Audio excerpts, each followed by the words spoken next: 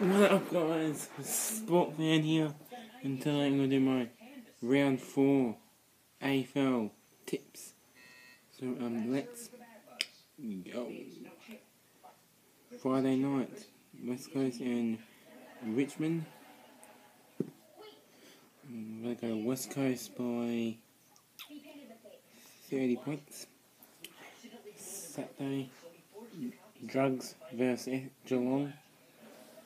Go Geelong by 110 points. Hawthorn versus St Kilda.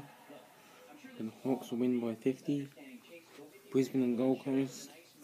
And Gold Coast will win by 20. Carlton and Bulldogs. And the Dogs will bounce back and win by 10. Crows and Swans. And the Crows will win by 5. The Giants and Port. And the Port Power will win by 18 points. Melbourne and Collingwood. Go the Pies.